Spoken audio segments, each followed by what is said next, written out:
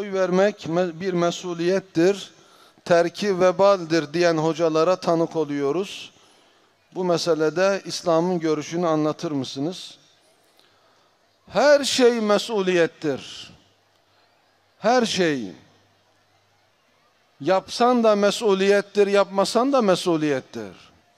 Sadece oy vermemek değil, oy vermek de mesuliyettir. Oy veren insan, oy vermiş olduğu kimseler haramlara imza atacaklar, bunu bilmektedir. Oy veren insanlar bunu bilerek oy verecekler. Kendilerinin oy verdiği kimseler demokrasiyi ve laikliği savunmak zorundadırlar ve savunmaktadırlar.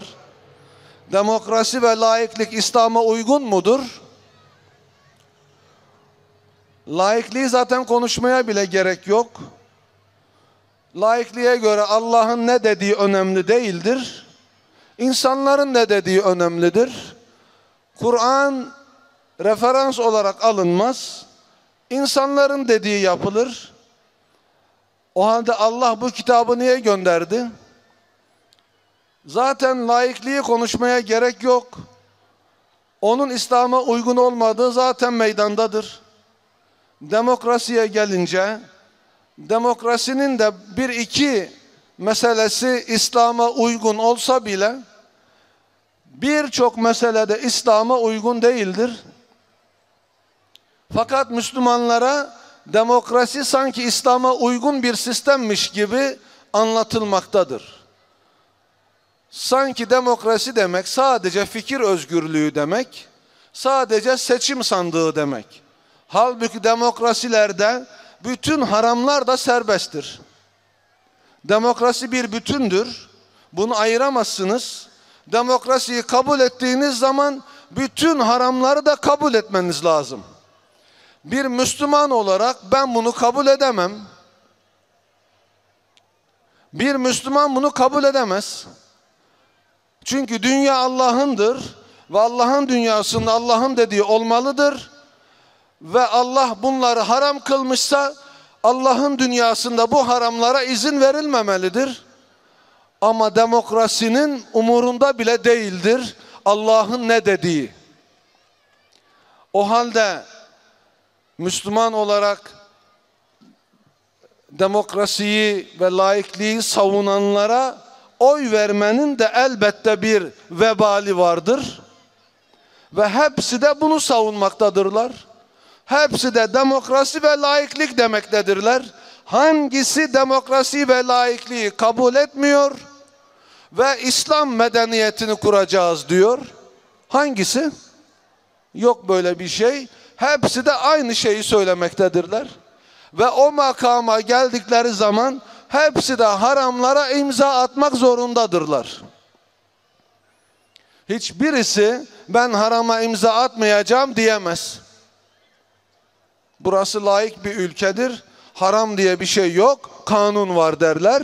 İmzalayacaksın derler. İmzalamadığı zaman görevden alırlar. Olur biter. O kadar zahmet ve masraf da boşa gider. Durum budur. Sadece oy vermemek vebaldir diyenler oy vermenin de vebal olduğunu bilsinler. Ve oy vermeyen bir Müslüman peygamberler böyle bir yöntemle İslam'a hizmet etmedikleri için oy vermiyor. Ben oy vermiyorum ve bunun için vermiyorum. Peygamberler yalan söylemediler, onlardan gibi görünmediler.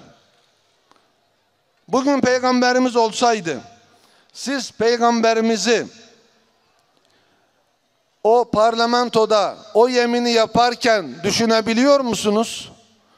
Atatürk ilke ve inkılaplarına bağlı kalacağına, laiklikten ayrılmayacağına yemin ederken düşünebiliyor musunuz?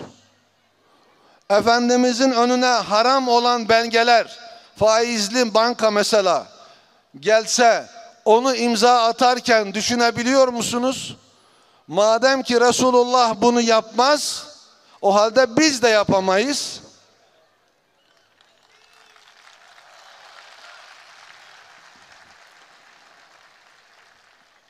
Oy vermeyen bunları düşünüyor. Peygamberler böyle bir yöntemle mücadele etmedi. Kimseyi aldatmadı, yalan söylemedi, harama imza atmadı.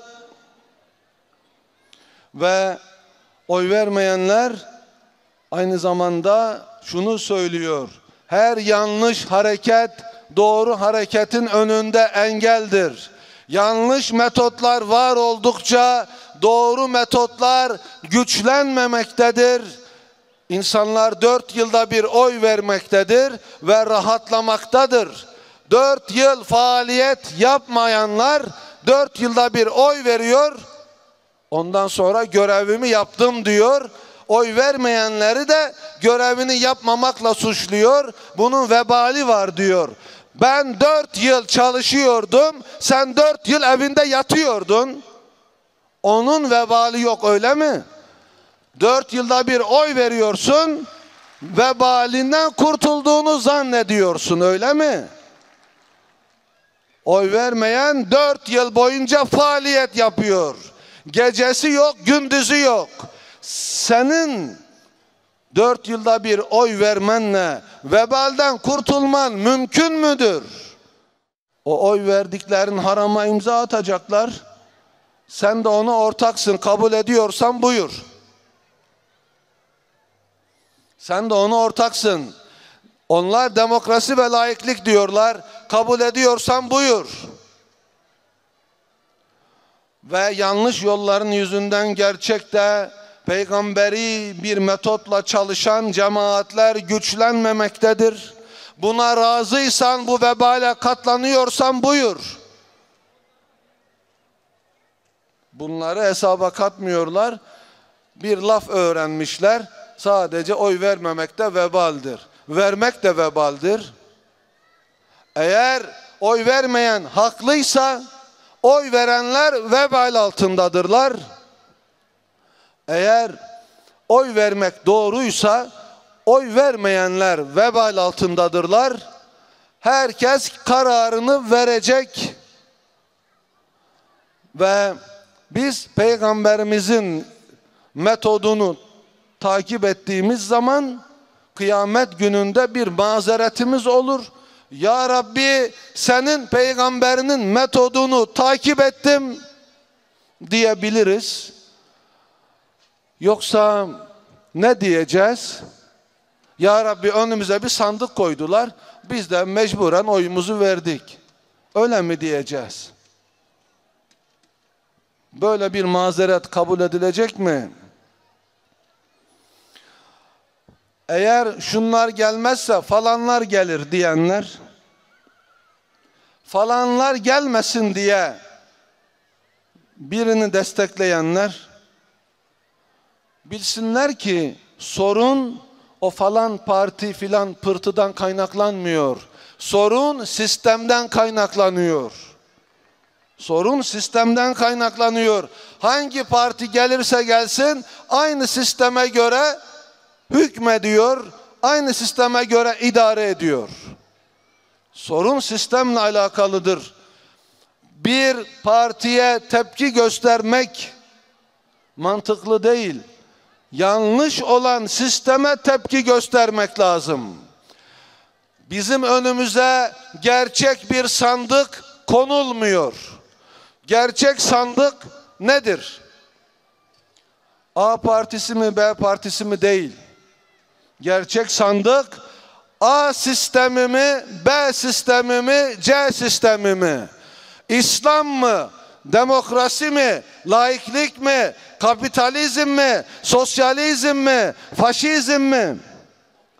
Gerçek seçim budur. Önümüze bunun sandığını koysunlar.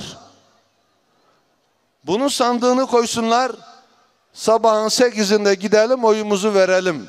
İslam mı, demokrasi mi, laiklik mi, sosyalizm mi, faşizm mi? Gerçek seçim budur. Bunu bize, önümüze bunu koymuyorlar. A partisi mi, B partisi mi, C partisi mi? Hepsi de demokrasi ve laiklik diyor. Ne farkları var? Aralarındaki fark nüans farkları. Birisi biraz daha özgürlükçü, birisi biraz daha az özgürlükçü, birisi biraz daha katı laiklik taraftarı, birisi biraz daha yumuşak laiklik taraftarı, ılımlı laik. Farkları bu. Temelde ciddi bir fark yok. Sistem buna müsaade etmiyor. Siz ben İslam medeniyeti kuracağım diyemiyorsunuz. Hani özgürlüktü? Hani fikir özgürlüğüydü? Kendileri kendileri Allah'ın hükümlerini, Allah'ın gönderdiği medeniyetin esaslarını kimseye sormadan kaldırdılar. Öyle mi değil mi? Darbeyle kaldırmadılar mı? Kime sordular? Kime sordular laikliği getirirken? Kime sordular demokrasiyi getirirken? Kime sordular şu düzeni kurarken? Kime sordular? Kimseye sormadılar. Şimdi ise diyorlar ki anayasanın ilk üç maddesini hatırlayın. Demokrasi ve laikliği değişmesini teklif bile edemezsiniz. Kendileri Allah'ın hükümlerini teklif bile etmeden kaldırdılar. Kendileri Allah'ın hükümlerini insanlara sormadan bile kaldırdılar. Kendilerinde böyle bir yetki var. Biz onların kurduğu nizamın değiştirilmesini teklif dahi edemiyoruz. Demokrasiye bakın, özgürlüğe bakın. Bu nasıl bir demokrasi, bu nasıl bir özgürlük?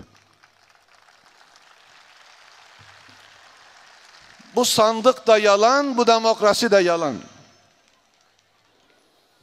Kendileri Allah'ın hükümlerini kimseye sormadan kaldırıyor. Biz burada bir yanlışlık var. Bunu biraz değiştirsek dahi diyemiyoruz, teklif bile edemiyoruz. Şu mantığa bakın. Bu kabul edilecek bir şey mi? Anayasanın ilk maddeleri bu değil mi? Teklif dahi edemezsin. Ama sen Allah'ın hükmünü kaldırırken halka sormadan kaldırdın. Böyle bir memlekette demokratik yollarla bir yerlere gelecek ve memleketi değiştireceklerini zannedenler 50 yıldır bu yolla bir yere varamadılar. Bundan sonra da varamayacaklar. sıfatları ehl sünnete göre tevil edilir mi? İki görüş var. Tevil edilir diyen de var, edilmez diyen de var.